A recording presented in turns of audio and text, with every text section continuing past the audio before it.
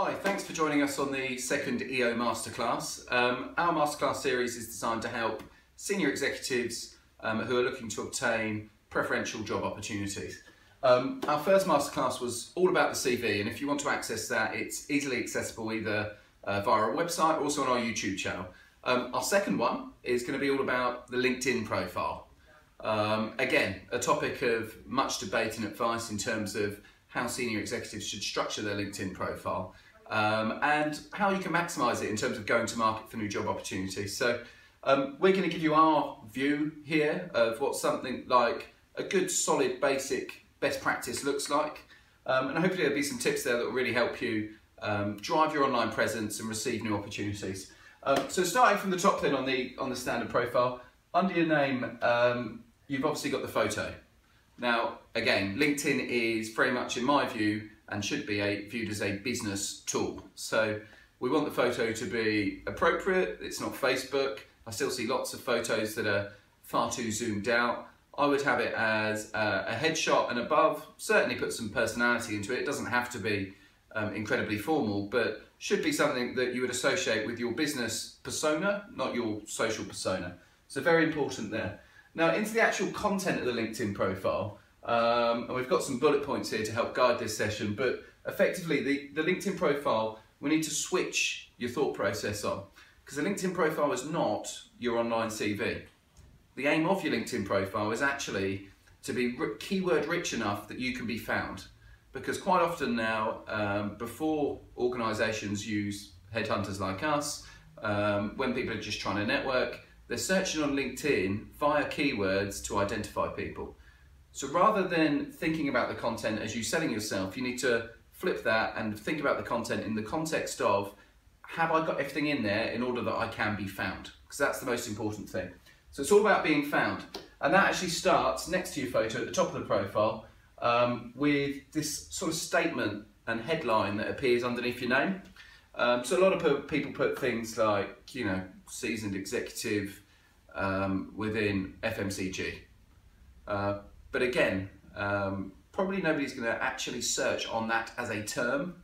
Um, what would be better, for example, is FD, finance, financial planning, more the types of job titles that you want to be approached with.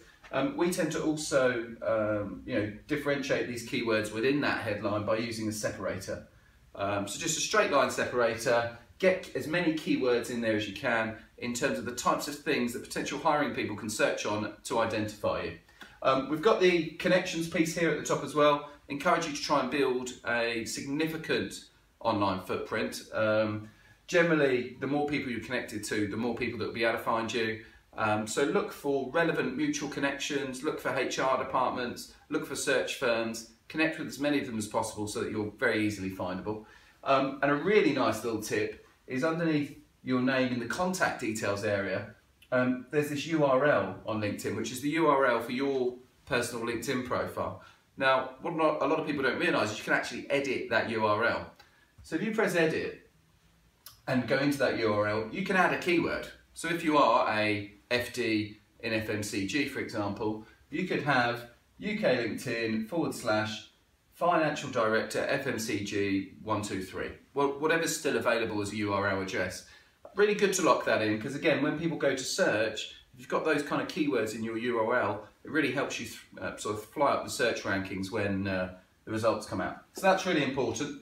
Um, posts is something we're very passionate about as well. I think it's very important to have an online voice.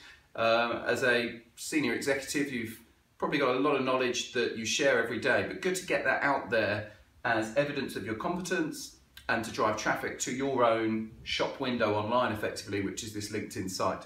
Um, also by putting keywords in those posts, that all adds to your relevance and where you show up in the search algorithm. So very, very important to get the top of your profile structured that way. Um, then into the real meat of the LinkedIn profile, we've got this summary box, which in our view should be very much an introduction, um, but again, very, very keyword rich. So not the personal profile that you would put on your CV, but far more keyword rich. So talking about the skills you have, the industries you work in, the types of roles you can undertake, um, and any other relevant search type buzzwords that people will be able to find you with. So really think about that when you're filling out the summary because this needs to be as keyword rich as possible. And when the search algorithm on LinkedIn starts purring, it goes to the job titles, it goes to the keywords, and really deep dives into that summary box to look for what it's trying to find. So make sure that's there. Um, and you know, by all means, there's an opportunity to add videos, presentations, documents, and slide shares in the bottom of that summary box. So evidence again your own uh, competence, interests, and um, technical skills with, with documents and, and various different media to help things along. In the experience piece, um, this is a more CV-like type area. Um, you want to make sure that underneath each job tile you've actually got some text in there, keyword rich text which explains the type of roles you've done previously. Um, you can have some achievements in there as well. Obviously that's a, a, a very positive thing. But again, people aren't going to search on save 20% of spend. What they will search on is procurement. So it's about having the right terms throughout this profile to make sure you show up very quickly. Um, recommendations are still very powerful, particularly from senior people. So uh, certainly get your referees, um, your contacts, people who've worked for you, with you, alongside you, to publicly recommend you. I think that's a, a very, very positive thing. At the bottom, you've got a skills area. Again, the more skill, relevant skills you can get endorsed with, the better, no doubt about that. And a groups area. So again, join as many groups as you can, be actively participating where you can as well. Um, the other good thing about groups is somebody searching can also can also find members of those same groups. So by joining relevant groups, people who are hiring will be able to find you. So in summary, um, in terms of our, our bullet points and how you want to put this LinkedIn profile together um, to further complement the, uh, uh, the CV template that we spoke about, it's all about being found. You need to think about this in regards to the search engine on LinkedIn. You have to be found, it has to be keyword rich. First impressions last, um, don't underestimate the power of this profile. Very often when people now receive the CV, actually one of the first things they do is type the name off of the CV straight into LinkedIn and look there first before they've even read the CV. So people are going to have a look at this and you need to make an impression quickly.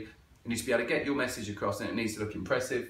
So again, the photo and things like that, very important. Continuously build your social footprint, as important as your offline network, I would say these days.